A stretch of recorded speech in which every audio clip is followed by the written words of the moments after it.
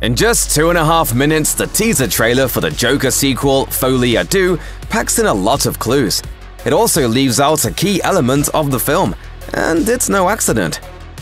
It's become something of a trend for modern movie musicals to hide their musical nature in their marketing.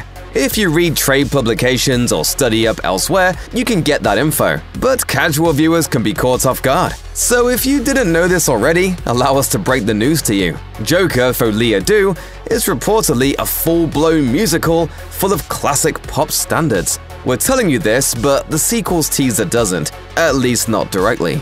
We use music to make us whole.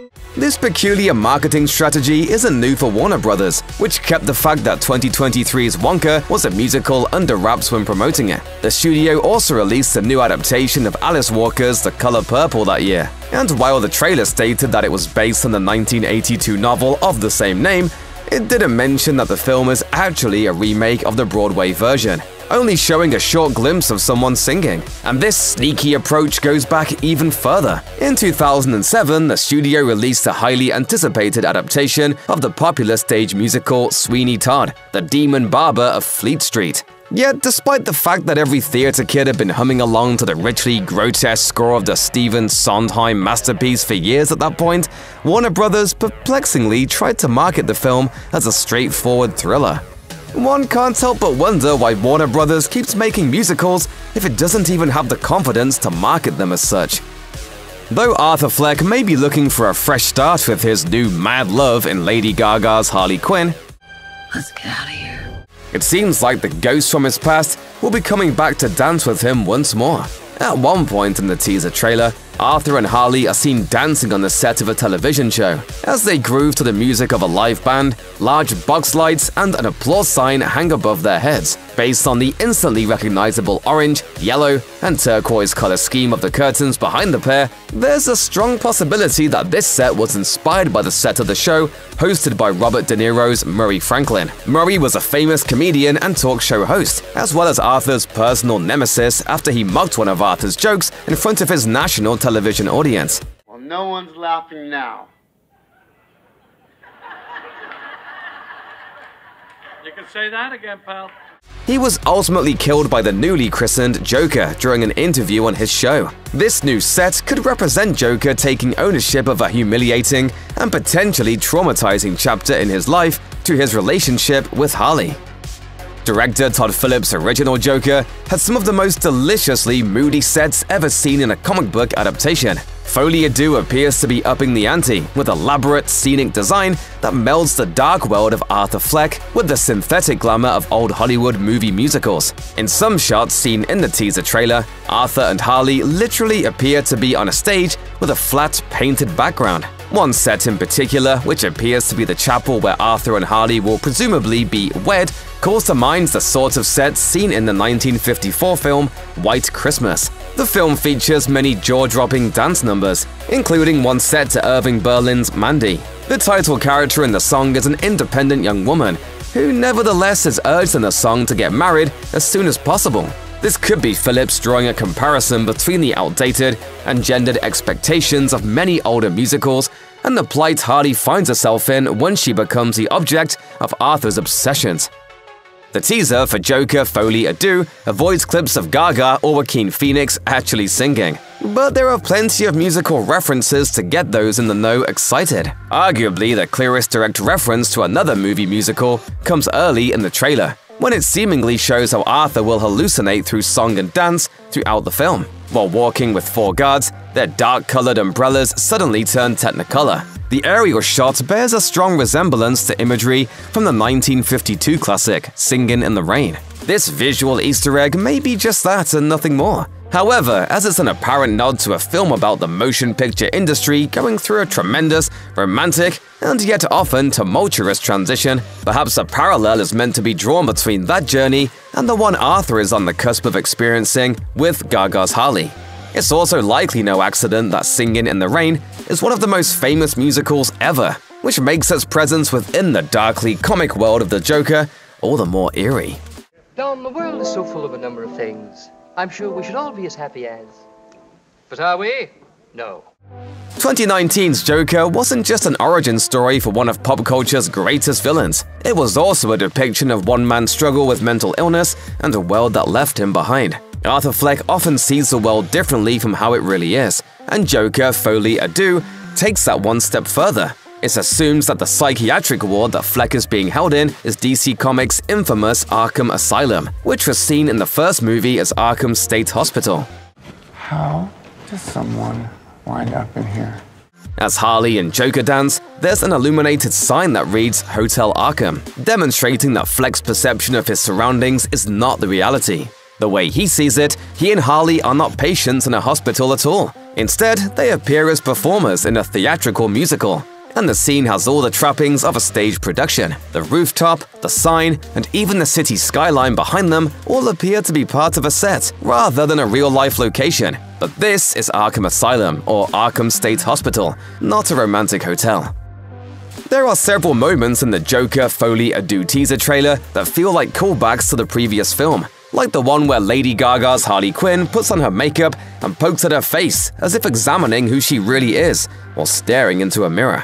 Another moment appears to be a dark reprise of another important scene from the first film, involving an entirely different character. In that first movie, Arthur Fleck interacts with a woman named Sophie, a single mother who lives in his apartment building. When they first meet, Sophie's kid is acting up.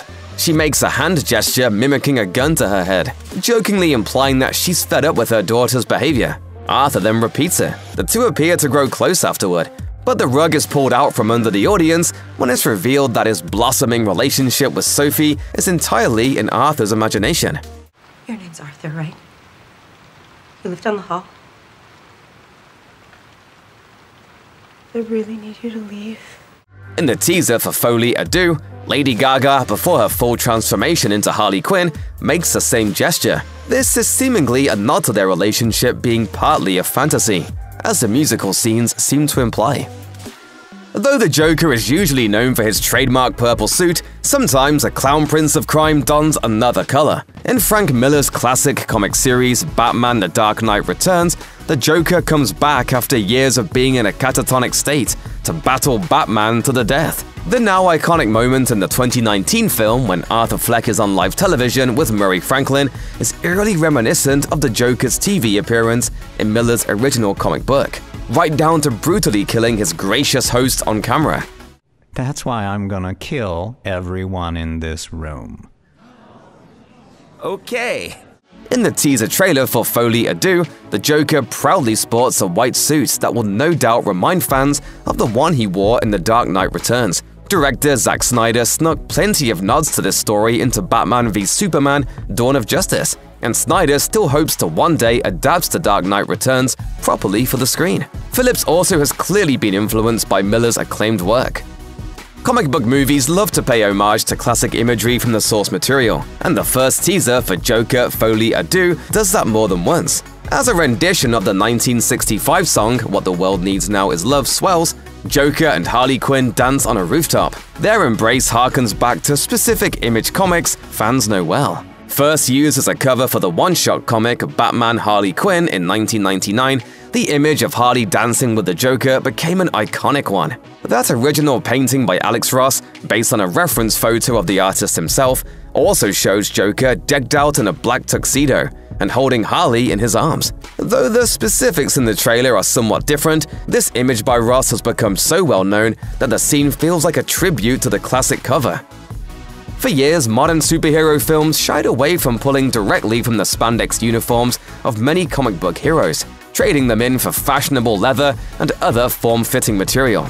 You actually go outside in these things? What would you prefer? Yellow spandex? But in the explosive age of superhero films today, being ashamed of classic outfits is long gone. The Joker himself may have some pretty straightforward attire, but traditionally, Harley Quinn dresses a bit more like the Harlequins for which she's named. Lady Gaga's Harley Quinn is taking a more modern approach, but her wardrobe is still a clear callback to her original costume. First appearing in Batman the Animated Series, Harley Quinn wore an outfit more akin to a court jester than a supervillain. Yet Harley made an immediate splash, and it wasn't long before she was welcomed into official DC canon. With a memorable red and black outfit paired with white makeup, Harley was always ready to play with her Mr. J whenever he broke out of Arkham. While Harley has moved away from her original masked outfit in recent years, even her current costumes often recall the original. Gaga's version also clearly pays tribute. In the first Joker film, Arthur Fleck incited what almost amounted to a revolution as the people of Gotham rose up against the wealthy elites. The Joker isn't exactly a role model. That clearly hasn't stopped other denizens of Gotham City from donning face paint and clown attire to prance about the city alongside their new idol. From what we see in the Folie à Deux teaser, Arthur is followed around town by other Jokers. While this might not be a direct reference to any specific comic book, fans should note that in one DC comic story there isn't just one Joker, there are three. In the series Batman 3 Jokers, the Dark Knight discovers that three different individuals have been the Joker the entire time. Known as the Clown, the Criminal, and the Comedian, each of these Jokers represents a different era in comic book history, and each has his own unique tie to the Caped Crusader. Arthur Fleck most closely resembles a comedian, but that doesn't mean the Clown and the Criminal couldn't show up at some point down the line. Of course, that's not the only way the idea of multiple Jokers could come into play. In the animated series Batman Beyond, a street gang inspired by Batman's arch nemesis called the Jokers is often seen terrorizing Gotham. It shouldn't surprise audiences that the trailer for the next Joker movie ends with a smile. After Harley draws a smile on some glass using her red lipstick, Arthur positions himself so it looks like he's wearing the curved red liner's makeup. He then gives an eerie smile as the title pops in. While we don't know why Arthur is behind the glass or what this moment means for the character within the overall context of the film, we can deduce that it's a pivotal turning point for Phoenix's Joker as he continues to define himself as Gotham City's notorious clown prince of crime. As Heath Ledger's Joker once said, Let's put a smile on that face. While this closing shot may not be a reference to anything in particular, there are some clear parallels between this and the deleted scene from director Matt Reeves' The Batman. Robert Pattinson's Batman encounters Barry Keoghan's Joker at Arkham Asylum, where the villain sits behind reinforced glass. You can't make out much of Keoghan's Joker, he's purposefully blurred, with Reeves clearly intending to keep his version of the character a mystery. But there's an apparent smile-like scar that runs across his face, much like Ledger's version. This final moment from the Folie à Deux teaser might be nothing more than a cool shot, but it could also be a small nod to the other on-screen Jokers.